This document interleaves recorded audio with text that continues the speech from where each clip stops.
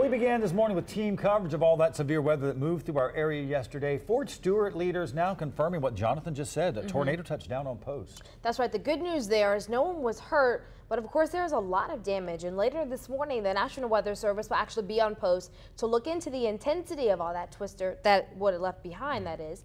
Ashley Liotus is joining us live right now for a closer look at the aftermath. Ashley? Nicole and Chris, many people still cleaning up after that storm touched down yesterday. Now, we told you about the tornado warnings all across our viewing area yesterday, reaching from Chatham County all the way out to Liberty County, and that's where we're going to begin here this morning. Take a look. Fort Stewart, you can still see some of the aftermath just as that storm was wrapping up yesterday. Take a look. This is near Diamond Elementary School. Roof damage, debris covered the property, and several trees even came down. The storm even flipping over cars and ripping the roof off of houses. The damage causing about 40 people on post to be displaced last night. They're waking up in hotels this morning.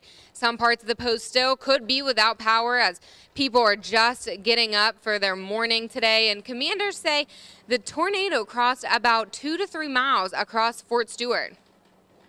Looked like we had a tornado touchdown and kind of travel from west to east across the post. So it went through uh, motor pool area, across the golf course, through the housing area, clipped a little edge of the school, and then as it exited post, went through another small uh, area of a housing area, and then across Sunbury Road and took out some power lines and trees and fences and did some damage to cars and homes as it went through the area. Crews will work to clean up the area and make sure all roads are clear of de debris this morning.